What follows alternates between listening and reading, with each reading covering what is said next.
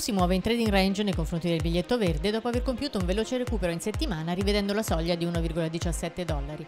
Non sono previsti imminenti aumenti del costo del denaro in Europa e per vedere il primo rialzo bisognerà attendere almeno sino a ottobre 2019.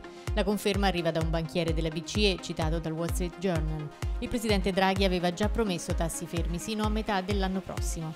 Il cross euro-dollaro scambia 1,1588 dollari, con la prima area di supporto vista a 1,1543.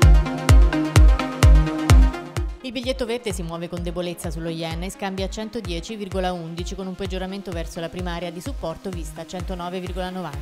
Intanto a catalizzare l'attenzione del mercato resta l'evolversi del quadro diplomatico legato alle tensioni commerciali tra USA e partner internazionali.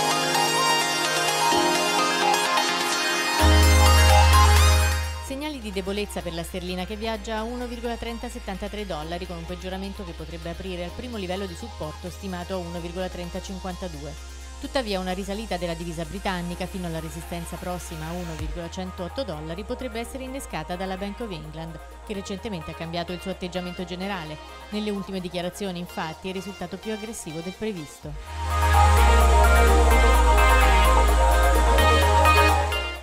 Calo nei confronti dello yen, quest'ultimo considerato valuta rifugio sulla scia dell'incertezza legata alla guerra commerciale globale, dopo che si sono alzati i toni degli Stati Uniti nei confronti dei suoi partner commerciali. Il cross euro-yen scambia a 127,61, debolezza che potrebbe portare ad un peggioramento fino al supporto più immediato visto a 127,20.